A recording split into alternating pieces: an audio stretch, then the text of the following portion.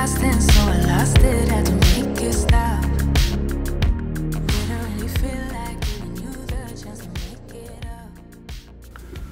Moin und Wattmanns Heil, liebe Jagdfreunde. Das Jagdjahr 2022, 2023 neigt sich langsam dem Ende zu.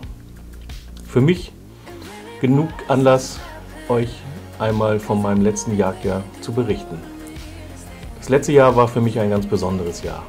Im August habe ich meinen YouTube-Kanal gestartet und auch zeitgleich meinen Instagram-Account. Bisher habe ich auf meinem YouTube-Kanal über 200 Abonnenten und auf Instagram folgen mir inzwischen über 800. Dafür möchte ich mich an dieser Stelle noch einmal ganz recht herzlich bei allen bedanken für diesen tollen Support. In diesem Film nehme ich euch mit auf meine Jagderlebnisse vom letzten Jagdjahr. Das letzte Jahr begann mit der Ausbildung von unserem Pudelpointer Rick zur Vorbereitung auf die VGP.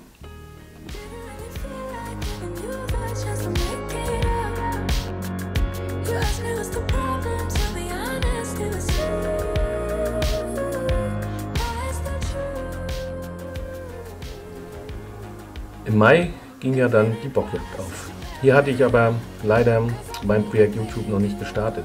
Insofern kann ich auch nichts aus den Monaten Mai, Juni, Juli berichten, außer euch ähm, natürlich ähm, die Böcke, die ich in der Zeit auch erlegt habe, einfach mal hier in Bildern zu zeigen.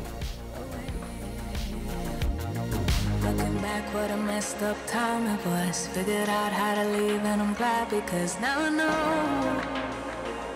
how it goes.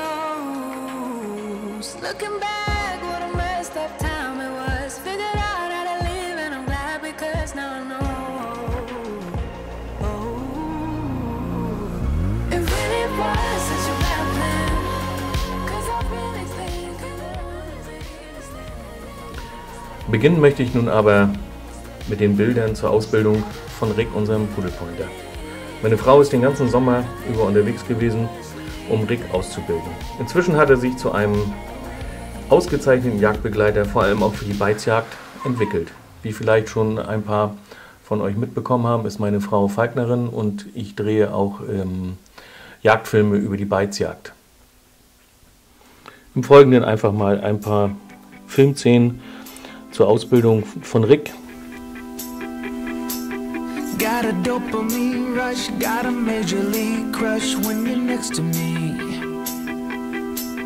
Got my heart upon my sleeve, can I hide the way I feel when you're next to me, girl? Got the kick in every move, and I fought it's like a fool for you, for you.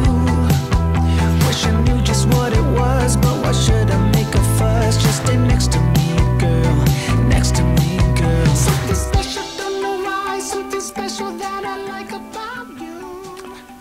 Im August konnte ich dann meinen zweiten Film über die Jagd auf einen Knopfbock abdrehen.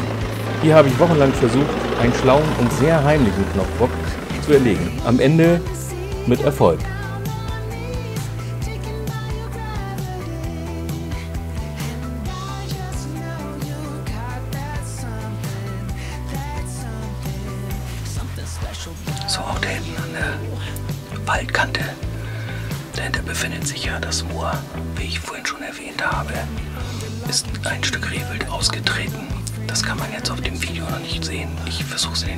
Nächsten Einstellungen nochmal besser ranzukriegen. Das könnte ein Knopfbock sein. Hier läuft ein Knopfbock, den haben wir jetzt ein paar Mal gesehen. Konnten ihn aber nie bejagen, weil das Gras hier so hoch war. Jetzt ist alles abgemäht. Jetzt schauen wir mal, was das ist.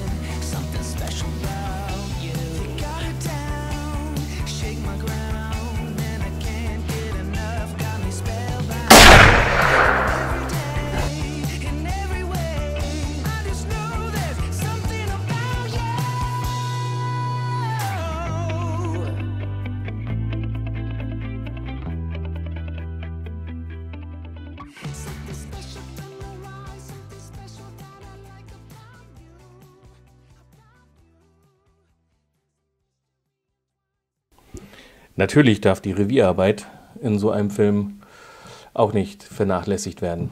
Jedes Jahr müssen wir zur Vorbereitung der aufgehenden Bockjagd die Jagdeinrichtung ertüchtigen, die Sitze freischneiden und die Pirschwege auch wieder frei machen, sodass wir ohne Probleme auf unsere Ansitze gelangen können. Ähm, ja, das wollen wir sehen. Da ist noch ein bisschen Kirren und dann auf Ansitze gehen, beziehungsweise den Sitz da oben noch mal freischneiden. Das machen wir gleich noch schnell. Und dann werden wir noch einmal durchs Revier fahren, ein bisschen gucken, was so los ist. Und dann werden wir uns auf die Ansitze verteilen und hoffen, dass wir heute Abend dann Waldmanns Heil haben. Ende Juli, Anfang August wurden dann bei uns im Revier noch einmal Füchse bestätigt. Nach mehreren Ansitzen hatte ich dann Glück gehabt und konnte noch mal einen von diesen, ähm, insgesamt waren es vier Füchse, ähm, erlegen. So,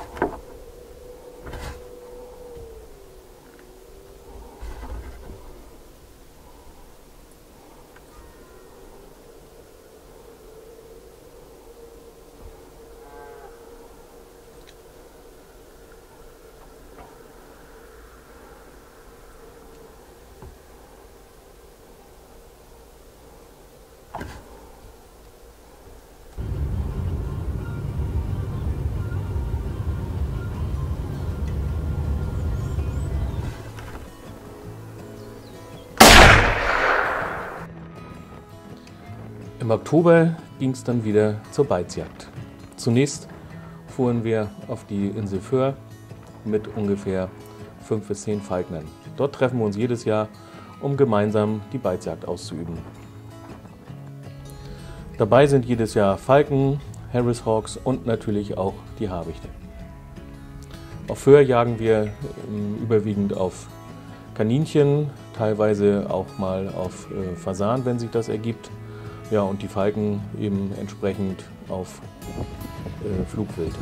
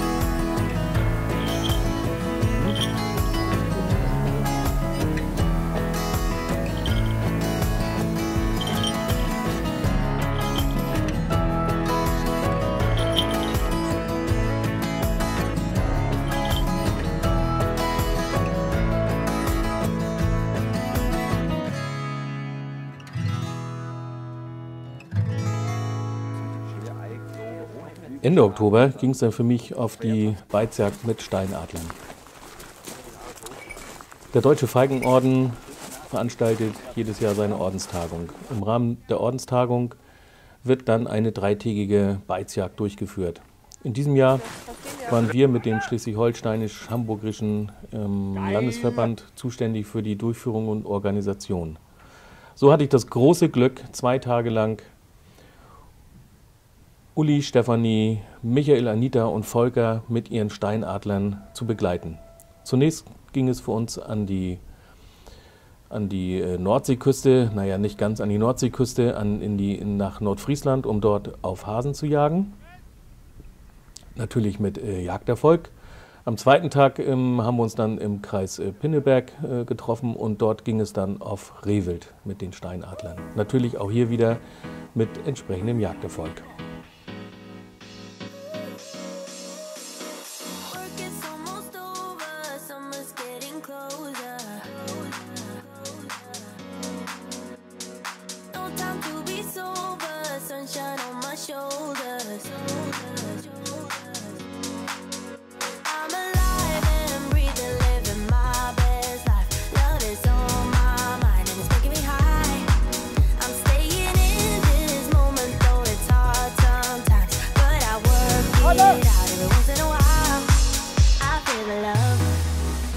I feel it growing every day. I feel the love. I feel the love.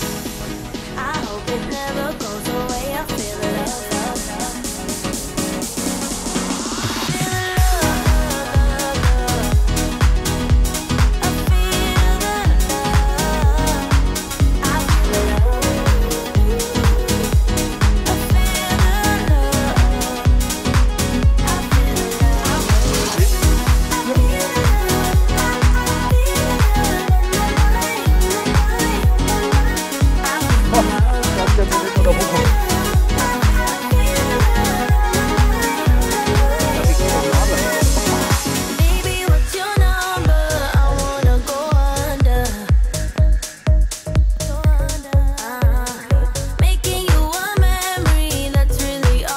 Na, schon, der geht, jetzt geht er nochmal.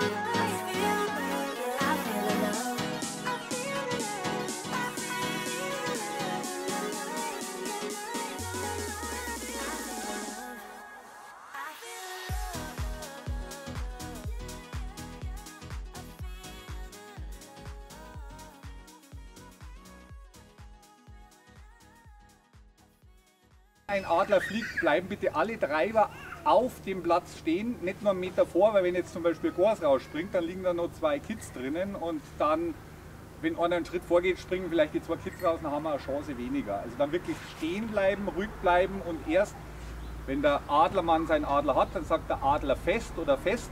Das gibt man dann auch wieder durch, damit der am Ende dann weiß, alles klar, jetzt kann ich auch wieder fliegen.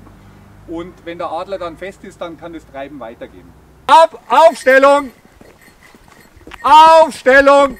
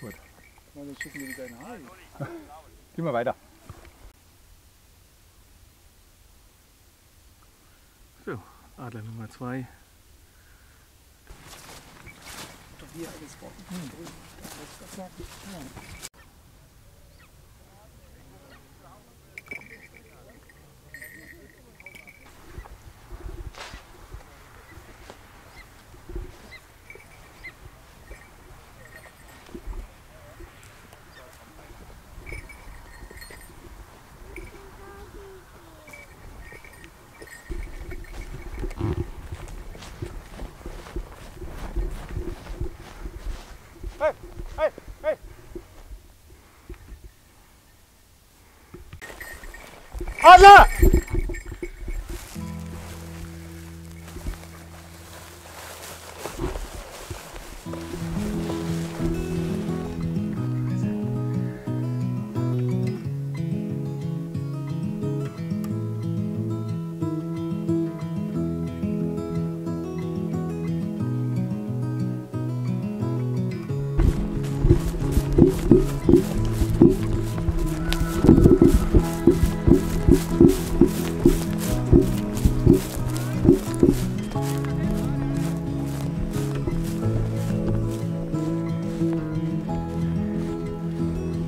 Falkner sei. Falknes Dank. Wahnsinn.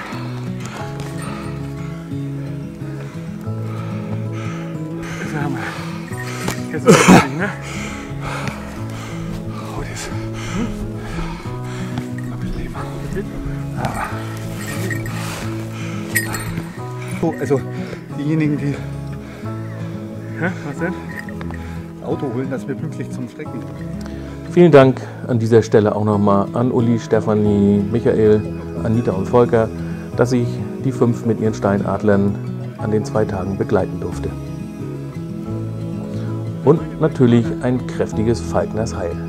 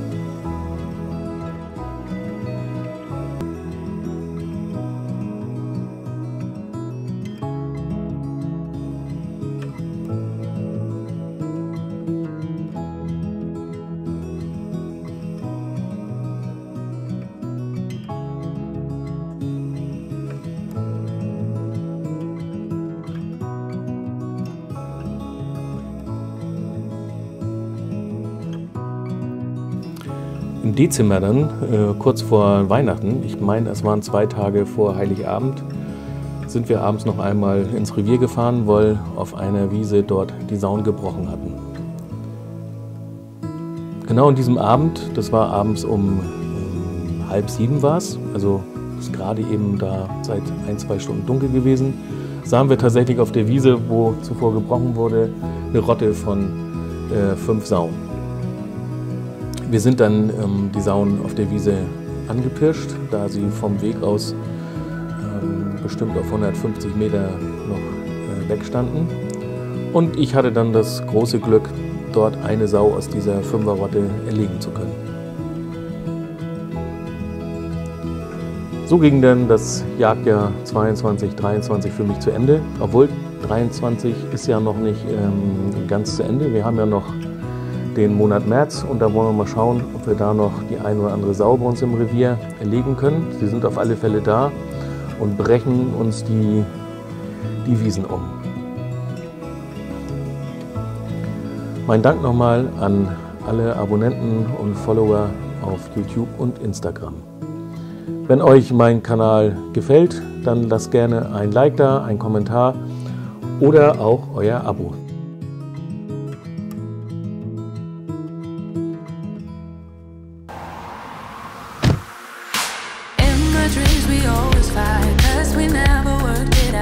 It just kinda slipped through our hands. And I never really said That you hurt me, no instead I just try to understand. It was so exhausting So I lost it, had to make it stop